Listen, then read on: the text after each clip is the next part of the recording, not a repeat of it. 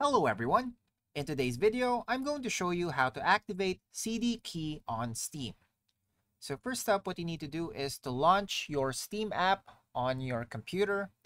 And then from here, just make sure you have a game purchased on, let's say, a website, any website that you've purchased the game from. And once you've purchased that game, you should be able to have a CD key available upon purchase. So if you don't see this, then just make sure to reach out to that particular website and then ask where you can find the CD key.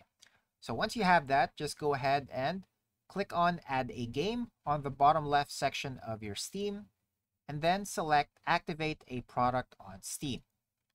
Now here you can see you'll get to enter your product code. So just make sure to get that CD key from where you purchased the game from and then paste the code right into this section.